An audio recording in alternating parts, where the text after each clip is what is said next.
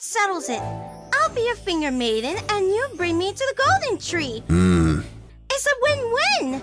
From now on, you're my partner. Mm-hmm. Bang. Ever heard of General Radahn? He's such a big gorilla on a small horse. That is so dumb. Uh-huh. Oh, have you heard? In other worlds, treasure boxes always jump up and bite people. Mm-hmm. well, whoever made up this joke must have been a serious sadist. Screw you, Baldy! How dare you spring a trap on us? Mel, calm down. Partner, let me go! I... I'm sorry. You're dead! And your family too! They are dead! Come on, can you please lower the price? But I haven't eaten for days. Mel, please don't. Once my partner becomes the Elden Lord, he'll pay you back. But I... Mel, please.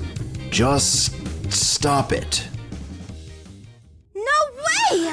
Their power is way too strong! Didn't I tell you to be quiet, dumbass?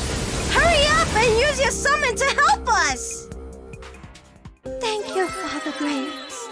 That great girl is dangerous! Stop talking to her! What are you even getting mad for? The Great Jar Order!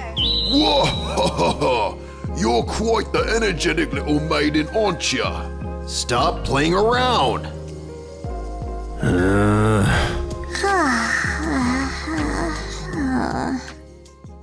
Did you find anything good in that dungeon?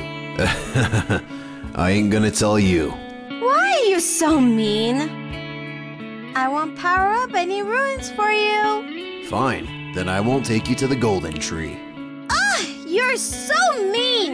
Mean, mean, mean!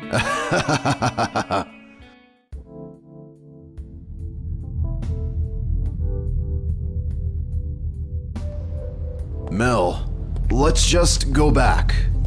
Why? What do you mean, why? I'm not gonna just sacrifice you. Let's go back. I'll find another way. Partner, you're such a sweet person. But this is my job, my destiny, and my will. Just stop. But, Mel. I know I've been in a lot of trouble, and you have helped me multiple times along the way. So, in this moment, if you keep talking, I may. Let me be useful this one last time. Never give up. You have to become the Elden Lord.